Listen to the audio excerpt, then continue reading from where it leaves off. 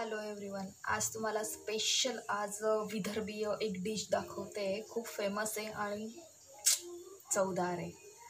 आज आपण बनवत आहोत डाळ पालक विदर्भीय स्पेशल मी इथं कुकरमध्ये एक ग्लास पाणी गरम करायला ठेवलेला आहे.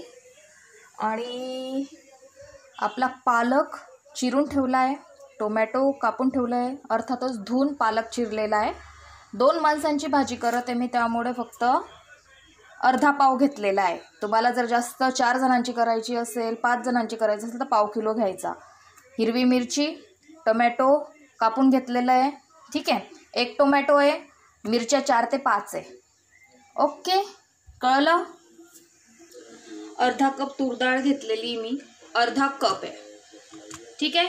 इथं आपलं पाणी गरम होते. हे पाणी गरम होते आपलं. कुकरमध्ये लावायचं आहे आपल्याला. तुरीची डाळ धुवूया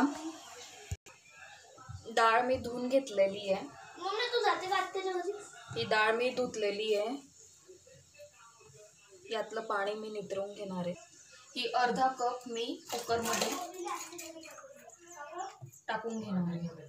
ठीक आहे. त्यानंतर यात जाणार आपला पालक.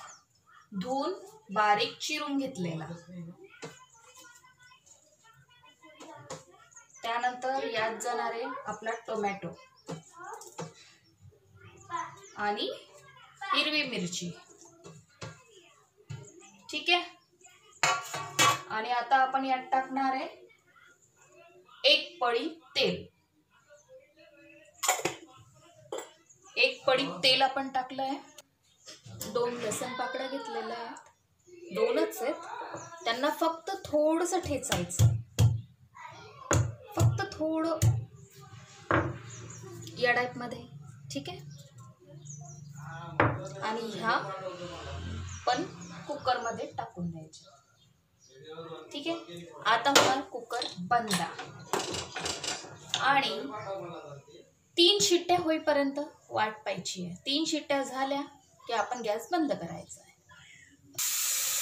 जोपर्यंत पालक शिजते तोपर्यंत आपण आपला फोडणीचा मसाला बघून घेऊया. काय काय आहे काय काय नाही तर.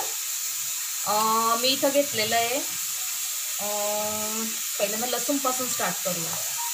लसणाच्या पाकड्या घेतलेल्या आहे. जास्तीचं डाका मस्त लागते. मी जास्तच घेते कारण आमच्या घरी जास्त खातात. आणि अद्रक घेतलेलं आहे एक इंच. खोबरं घेतलेलं आहे. साधारण तुमची अर्धा चम्मच एक चम्मच एक चम्मच एक चम्मच येईल. नंतर हा आपलं लाल तिखट लाल तिखट एक चम्मच. तुमच्या आवडीनुसार तुम्हाला जसं तिखट लागते स्पायसी लागते त्यानुसार तुम्ही बदलवू शकता धना पावडर एक चम्मच हळदी पावडर अर्धा चम्मच जिरे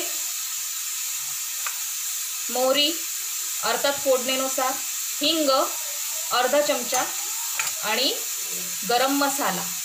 हा माझा घरगुती मसाला आहे. गरम मसाला. ठीक आहे? हे सगळं साहित्य लक्षात आलं? अद्रक लसूण आणि खोबरं.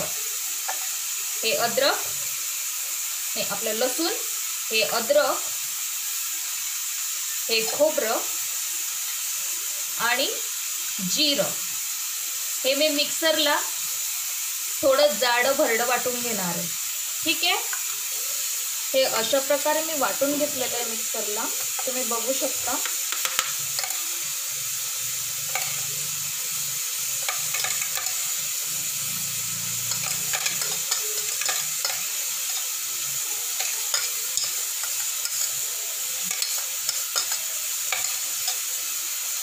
आपलं साधारण सगळं रेडी झालेलं आहे.